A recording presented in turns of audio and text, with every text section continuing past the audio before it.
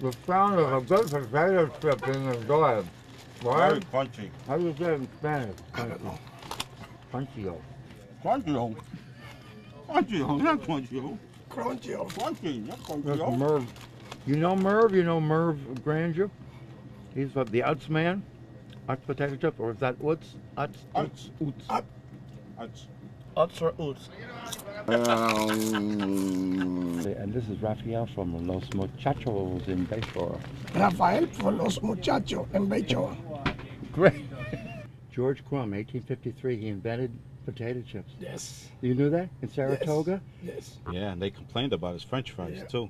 Oh, too Right. soggy, right? He's too soggy, and then he started slicing them up and made chips out of them. Wow, it was a big hit. Una gran explosión. Yeah, a grand explosion it, all over the world. That other picture shows him years later after he's eaten too many of his inventions. Look at that. Mucho, mucho gordo comiendo mucha papa. Mm.